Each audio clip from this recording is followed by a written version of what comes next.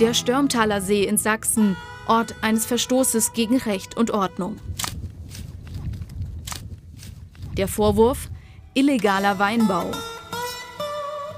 Um dem verbotenen Treiben nun ein Ende zu setzen, sind Hobbywinzer mit Schaufeln angerückt.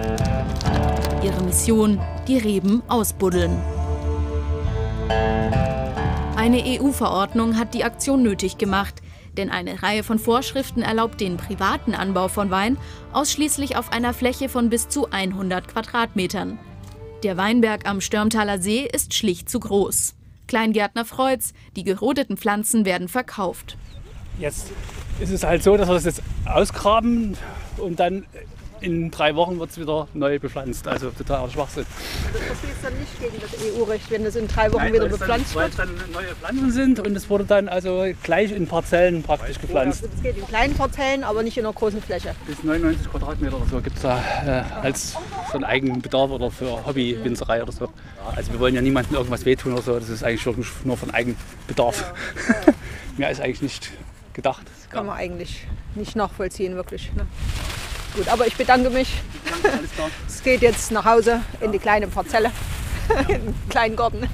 Gut, also alles Gute. Der Verein, der den Berg bislang bewirtschaftet hat, nimmt je Pflanze 10 Euro ein. Mit dem Geld will er neue Reben kaufen und an gleicher Stelle wieder einpflanzen, ganz legal. Absurd, weil das sächsische Umweltministerium die EU-Weinmarktverordnung besonders streng nimmt, muss der Hobbywinzerverein buddeln. Harte Arbeit für die einen und viel Bürokratie für die zuständige Gemeinde. Die hatte die Pflanzen vor gut vier Jahren eingesetzt, um das Seeufer zu verschönern.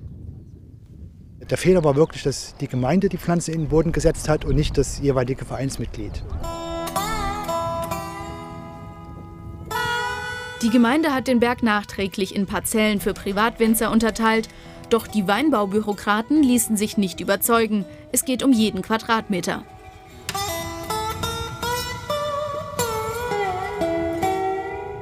Die Fläche, in der wir uns jetzt hier befinden, ist, sind die 99 Quadratmeter, die in Deutschland erlaubt sind, äh, wo jeder für seinen Eigengebrauch äh, Wein anbauen darf und ähm, als Hobbywinzer bewirtschaften darf. Und das ist die Fläche, die jetzt von der Rodungsverfügung nicht betroffen ist, sondern die die Gemeinde sozusagen behalten darf.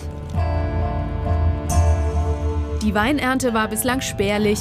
In diesem Jahr wird sie ganz ausfallen.